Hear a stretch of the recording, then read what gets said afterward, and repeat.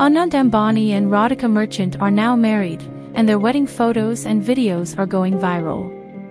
Each function has a video that is winning people's hearts. A video of Radhika's farewell is going viral, in which she is seen crying, and her father-in-law Mukesh Ambani also starts crying. Amidst this, another video is going viral where Shloka, her sister-in-law, and Isha, her sister-in-law, do something special to bring a smile to the face of the crying young daughter-in-law, Radhika. After this, a smile appears on Radhika's face.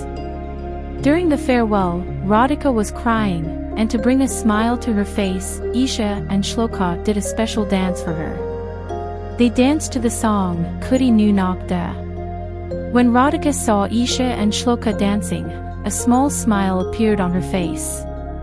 Seeing Radhika smile, Shloka became even happier and brought Radhika along to dance with them.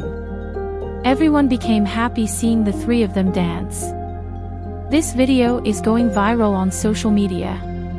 It should be noted that another video of Radhika's farewell went viral, in which Mukesh Ambani also got emotional upon seeing her. He became emotional like the father of a daughter, and since then, everyone has been calling him a gentleman. What would you like to say about this video? Please write to us in the comments section.